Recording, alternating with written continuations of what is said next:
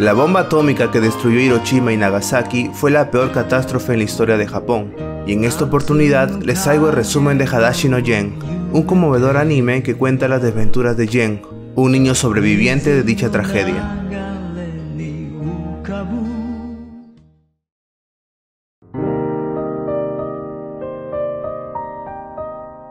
Todo inicia con unos aviones bombardeando una ciudad, esto sucedió un 7 de diciembre de 1941, cuando la guerra entre Japón y las fuerzas aliadas dio inicio. Los estadounidenses destruyeron las bases aéreas japonesas y luego bombardearon indiscriminadamente las ciudades niponas, siendo este el ataque más despiadado que se haya visto sobre vidas humanas. No contentos con esto, desarrollaron un proyecto secreto llamado Oppenheimer, o más conocido como la bomba atómica. Esta historia se desarrolla en el verano de 1945 en Hiroshima. Las personas salen de sus refugios luego de que una alerta de bombardeo haya pasado, entre ellos un niño llamado Jen y su familia. Los niños corren por el campo y se sienten optimistas con la cosecha de trigo de ese año, planeando comer mucho pan cuando su trabajo de frutos. Su padre, llamado Daikichi, les explica de dónde vienen dichas plantas de trigo, aunque los niños no parecen muy interesados por esto, ya que solo quieren jugar y correr libres. Por otro lado, en la ciudad, algunos soldados resguardan las calles y las personas hacen su vida con normalidad, mientras la familia de Yen regresa a su casa. Al mismo tiempo, unas personas despiden a un joven que ha decidido unirse al ejército. La familia de Yen pasa por dicho lugar y escuchan una peculiar canción que las personas entonan para enaltecer al militar. Los niños también la cantan, pero el hambre que sienten les quita las fuerzas. Al rato, la familia pasa por un lugar donde están regalando sopa, pero su padre les dice que no pueden recibir nada ya que no tienen los documentos actualizados para ello. Los niños luego llegan a casa, donde su madre llamada Kimi les ha guardado un trozo de pan. Shinji, el hermano pequeño, se lo lleva, mientras Jen lo persigue para que le invite un poco. De pronto llegan hasta donde está su hermana llamada Meiko, y ella les dice que ese pan debe ser para su madre, ya que al estar embarazada necesita comer para estar fuerte. Sin embargo, Kimi les dice que les dio permiso para que se lo coman. Aún así, Meiko le entrega el pan y se lleva a sus hermanos. Al llegar la tarde, los padres hablan sobre la falta de dinero para comer, pero luego se olvidan de eso al notar que el bebé está pateando el vientre de la madre. Jen y Shinji se acercan para escuchar las patadas de su futuro hermano, deseando que ella nazca. Llega la noche y las alarmas alertan de un posible bombardeo. La familia se prepara para ir al refugio y salen asustados de sus casas. Al llegar al lugar, la madre les cuenta que la última vez que bombardearon mataron a muchos niños inocentes y destruyeron muchas ciudades. Aunque el padre siente que algo no anda bien ya que no atacaron Hiroshima. De pronto, un soldado informa que fue una falsa alarma y la familia aliviada regresa a su casa.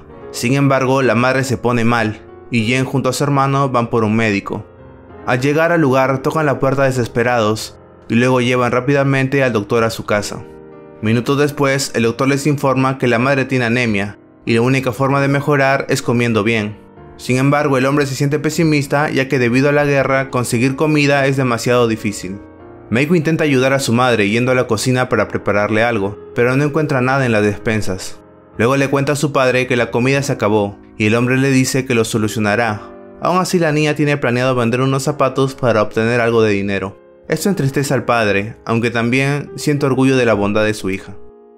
Al día siguiente, los niños conversan con un vecino que está preocupado por la salud de Kimi. Jen le cuenta que tiene anemia y está grave, por lo que el hombre le dice que la sangre de carpa es buena para curar esa enfermedad. En la noche, los hermanos piensan en cómo conseguir carpas para curar a su madre, y se disponen a ir a pescar algunos, por lo que se meten a un estanque escondidas y comienzan a pescar. De pronto pica un pescado, pero al no tener fuerzas para jalar la caña, Jen entra al estanque para atraparla con sus manos. Luego de un rato logra hacerlo, pero al salir el dueño del lugar los atrapa y comienza a golpearlos acusándolos de ladrones.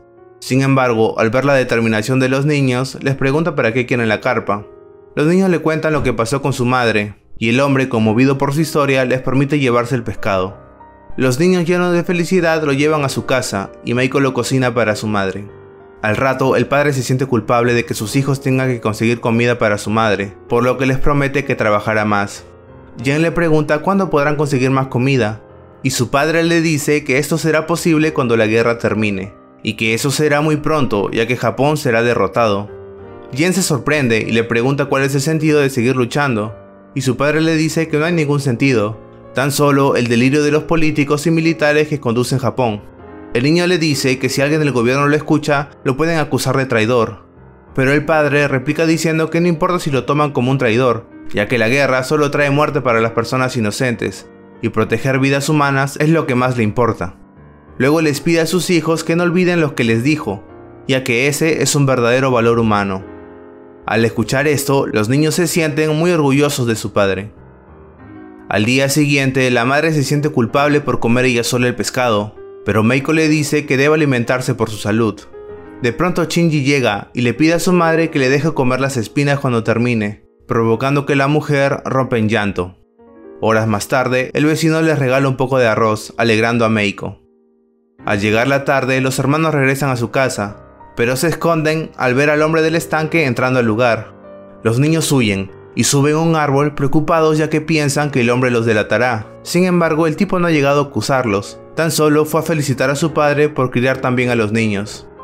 Los hermanos preocupados llegan a su casa y su padre los hace sentarse, sin embargo, en vez de castigarlos, los abrazan por ser tan buenos hijos y además el hombre les trajo pasteles. Ese mismo día, 6 de agosto a las 2 y 45 am, tres aviones B-29 despegan en dirección a Japón. En la mañana la familia la pasa bien, cuando de pronto suenan las alarmas.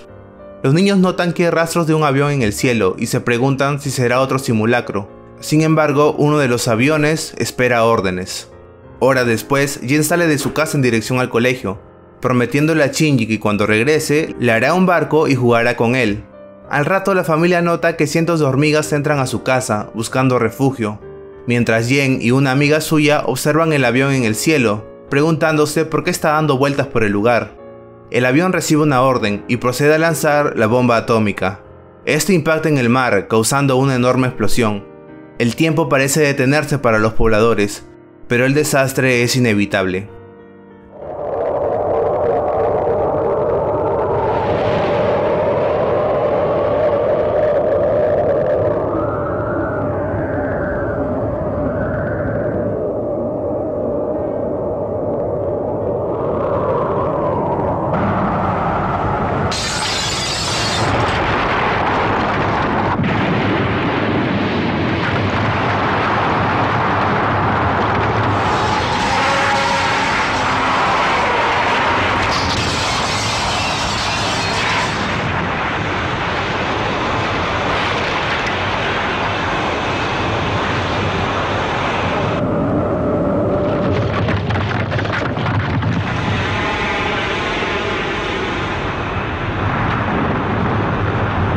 Atómica arrasa con Hiroshima, provocando la mayor tragedia en la historia de Japón.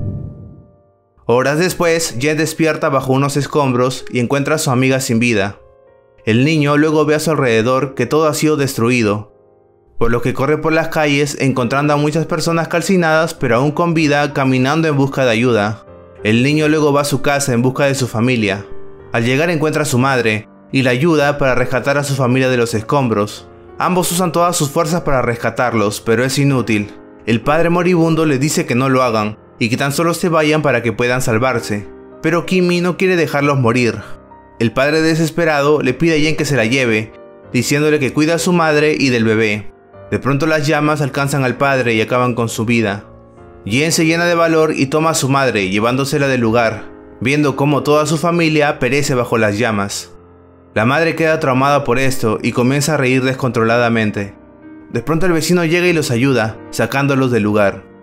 La bomba ha afectado a miles de personas que buscan socavar el calor metiéndose al río, aunque esto no funciona. Por otro lado, el vecino se va luego de dejar a la familia a salvo, cuando de pronto la madre siente que su hijo está por nacer. Jen corre por las calles en busca de un médico, pero al no encontrarlo decide ayudar a su madre a dar a luz. Al final su hermanita nace, y los ojos de Jen se llenan de lágrimas al recordar a los familiares que perdió. Luego Kimi toma a su hija en brazos y le muestra la destrucción que causó la bomba, diciéndole que fue la guerra la que acabó con la vida de su familia.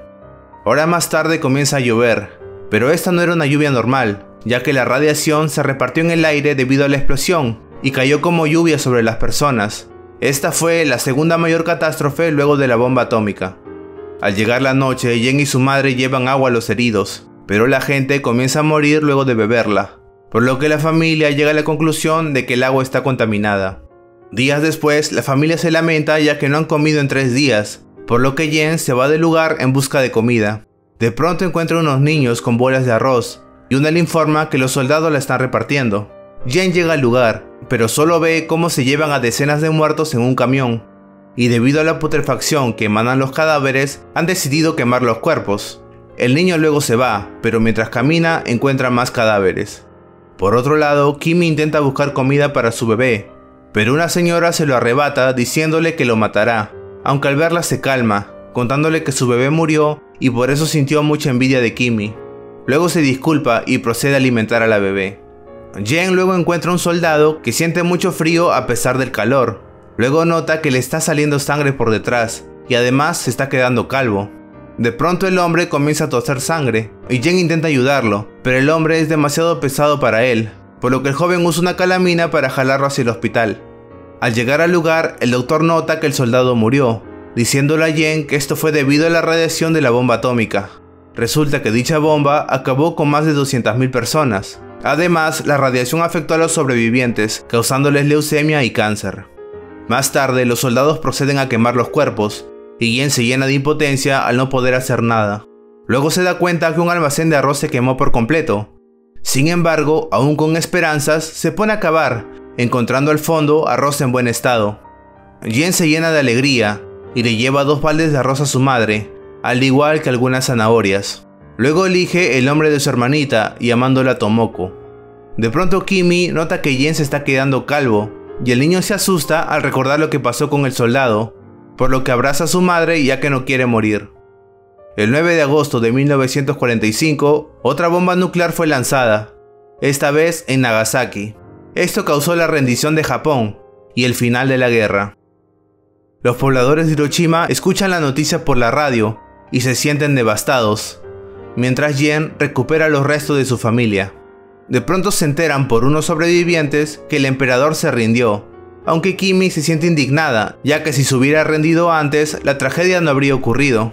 Aún así, Jen la anima, diciéndole que trabajará arduamente para darles una mejor vida. Los días pasan y la familia cena lo poco que puede. De pronto, un niño hambriento se acerca para robar un poco de comida, pero Jen se da cuenta y lo persigue. Al atraparlo, nota que el niño es idéntico a su hermano Shinji, pero el niño les dice que se llama Ryuta y su familia murió a causa de la bomba, por lo que Jen le da su comida al igual que Kimi. El niño come alegremente, mientras Jen y su madre piensan en adoptarlo para que no esté solo, y Ryuta llora de alegría al enterarse de esto. Al día siguiente, los niños buscan trabajo, y Ryuta comienza a decirle hermano a Jen, alegrando mucho al niño. De pronto, un hombre de gran bigote se acerca y les ofrece un trabajo en donde les pagará 10 yenes al día.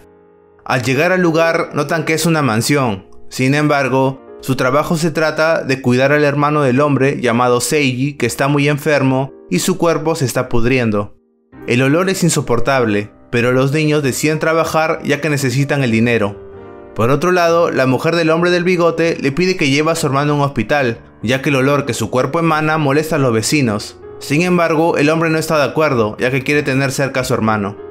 Horas después, Seiji trata mal a los niños, pero Ryuta soporta los maltratos debido al dinero que ganará.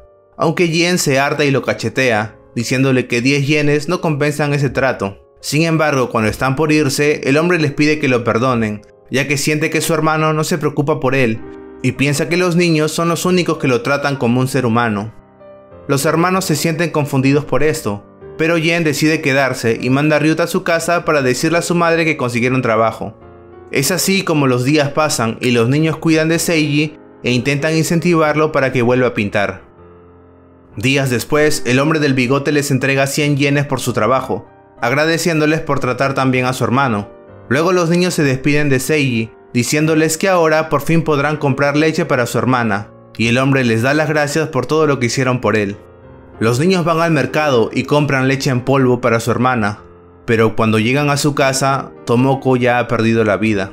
Jen totalmente devastado intenta reanimar a su hermana, pero es en vano. Las tragedias siguen llegando a su vida. Horas más tarde queman los restos de la bebé, y la familia se abraza buscando consuelo. Al día siguiente, Ryuta comenta que la vegetación no volverá a crecer en 70 años, pero Jen no le hace caso, ya que sigue destrozado por la muerte de su hermana. De pronto Ryuta se percata que están creciendo plantas del suelo, y Jen se acerca, dándose cuenta que son brotes de trigo, recordando las palabras que le dijo su padre. Esto alegra a los niños, y Ryuta se da cuenta que el cabello de su hermano está volviendo a crecer. Esto le da fuerza a Jen, quien le promete a su padre que aplicará todo lo que le enseñó para tener una vida muy larga. Luego recuerda el barco que le prometió a Shinji y comienza a construirlo. A cabo de un tiempo lo termina y lo lleva al río, luego enciende una vela encima y lo hace navegar, finalizando así la película.